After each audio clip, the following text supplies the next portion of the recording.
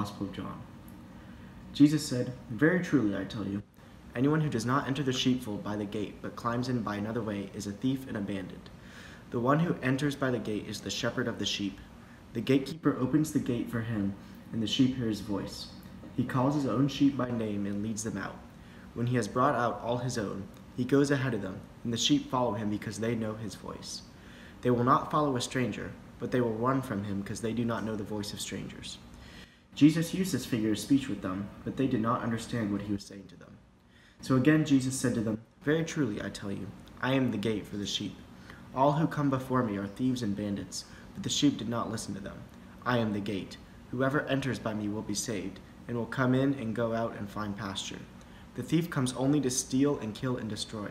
I came that they may have life and have it abundantly. Good evening. Welcome to St. Andrew's Chapel. In this week's gospel lesson that John Meeks just read, Jesus provides a figure of speech to explain who he is. He describes a sheepfold, which is a small enclosure with only one narrow gate to keep the, sa- the, the sheep safe inside. The disciples don't understand what he's saying in this figure of speech, so Jesus elaborates. Very truly, I tell you, Jesus says, I am the gate for the sheep. Jesus later goes on to talk about the Good Shepherd, but it is significant that he begins this figure of speech by talking about himself as the gate, not simply as the shepherd or even the sheepfold itself. Positioning himself as the gate in this sheep enclosure might seem odd. But the function of the gate is to provide access to the sheepfold. So Jesus is saying that he is that which gives access to life. Too often, we comprehend God to be a destination, the judge who awaits us, or the ruler of some distant place, a paradise, heaven. But Jesus is suggesting that God is equally understood to be the entrance or the pathway to our destination.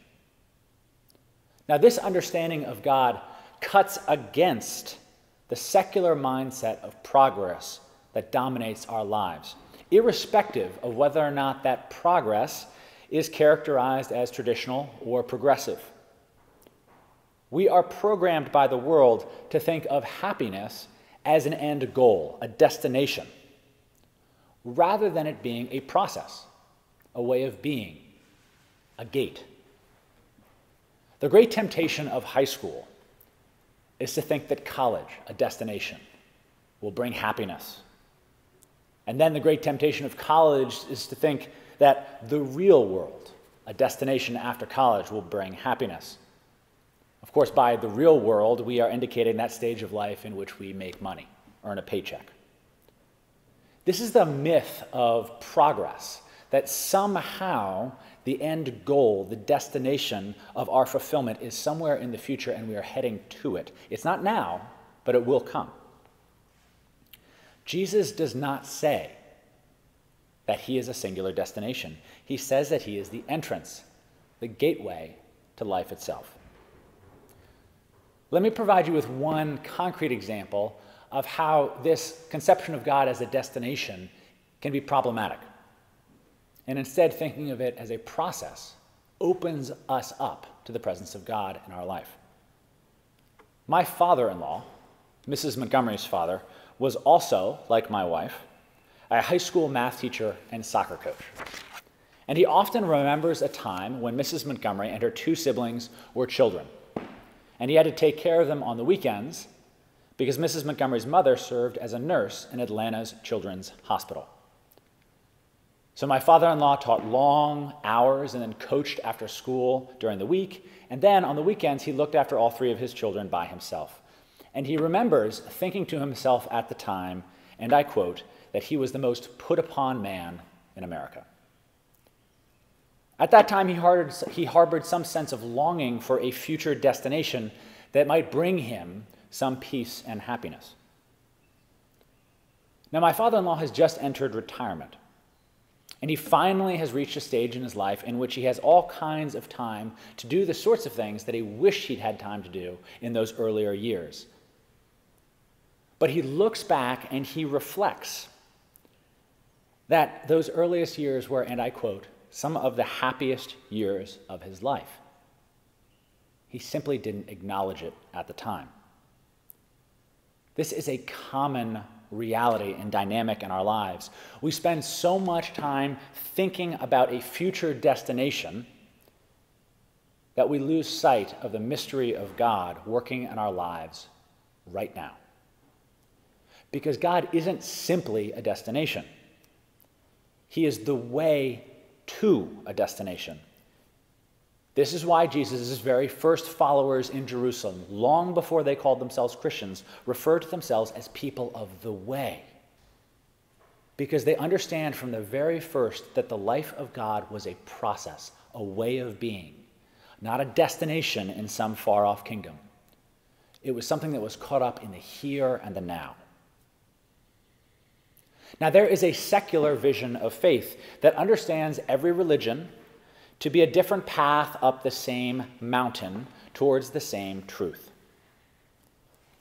And the problem with this vision of faith is that it reduces truth to a destination, as if truth itself, or happiness, or goodness, is something static and objective that we can possess.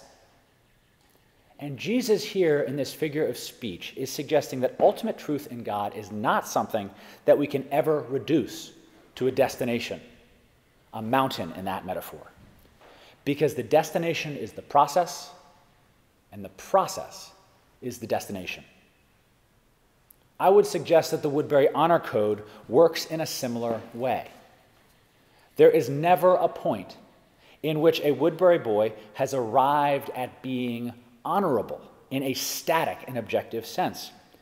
Because honor, when properly understood, is not a destination. It's not something that we own.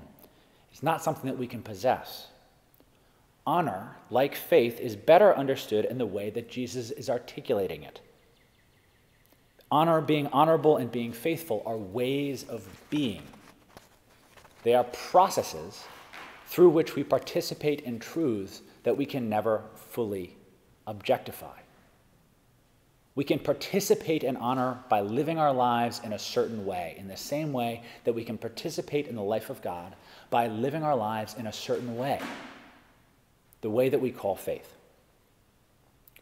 The good news of this vision of God is that honor and faith and truth in God become always accessible to us right now. No matter who we are or where we are in our lives, we are invited into the way of being that Jesus shows us.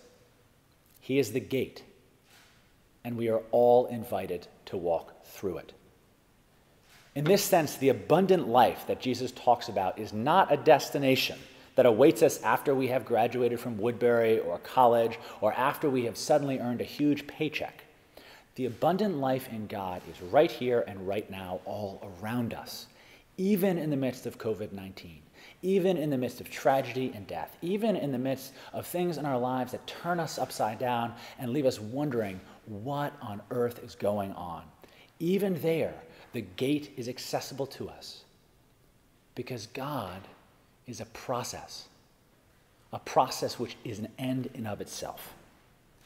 The only question for us is whether or not we are willing to open our eyes to see that these are, and I quote, some of the happiest years of our lives. We just might not be looking with eyes to see. Amen. Please bow your heads with me in prayer. We ask your prayers for God's people throughout the world, for this gathering, and for all ministers and people. Pray for the church. We ask your prayers for peace, goodwill among nations, and for well being of all people. Pray for justice and peace. I ask your prayers for all those who are at home in the hospital suffering from the current pandemic. And to those brave men and women working on the front lines, pray for mercy. I ask your prayers for Rosanna Couture and Christina Jones, who enter their final days of pregnancy, and also to Donna Gravely, who is currently fighting ovarian cancer. Lord, hear the prayers of thy people and what we have asked faithfully. Grant that we may obtain effectually to the glory of thy name through Jesus Christ our Lord. Amen. I now invite you to say with me, Give me clean hands, clean words, and clean thoughts. Help me stand for the hard right against the easy wrong. Save me from habits of harm. Teach me to work as hard and play as fair in thy sight alone as if the whole world saw. Forgive me when I am unkind, and help me to forgive those who are unkind to me. Keep me ready to help others at some cost to myself, and send me chances to do a little good every day, and so grow more like Christ. Amen.